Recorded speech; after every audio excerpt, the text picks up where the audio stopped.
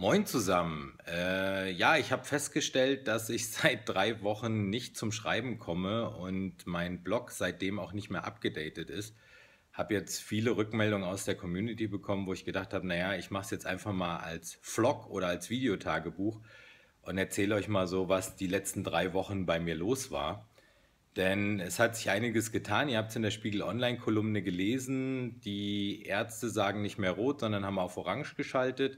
Mein Trainer Pete hat mir jetzt meinen Marathon-Trainingsplan aufgestellt und ja, jetzt trainiere ich volle Kanne los, versuche die Voraussetzungen oder die Sachen, die er mir auf den Plan geschrieben hat, zu erfüllen. Das gelingt mir einerseits, andererseits auch wieder nicht.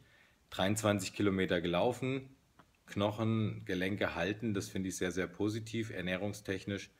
Klappt es noch nicht so ganz, da kriege ich jetzt mein Ernährungstagebuch ausgewertet.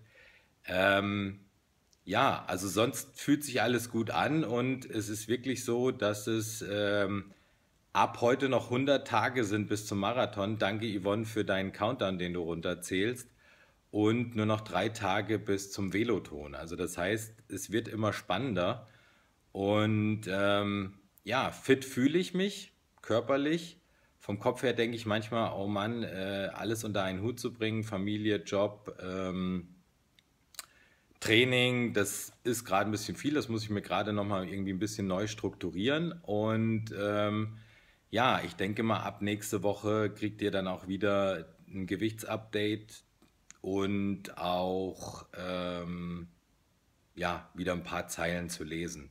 Ich gebe mir Mühe, wünsche euch jetzt schon mal ein schönes Wochenende und freue mich, den ein oder anderen von euch an der Strecke am Sonntag zu sehen, wenn ich die 60 Kilometer mit Christine ähm, durch Berlin gondele. Gondele? Nee, wir wollen schon auch ein bisschen schneller fahren, weil 25 km/h muss man ja mindestens äh, hinkriegen, um nicht vom Besenwagen einzuholen, holt zu werden.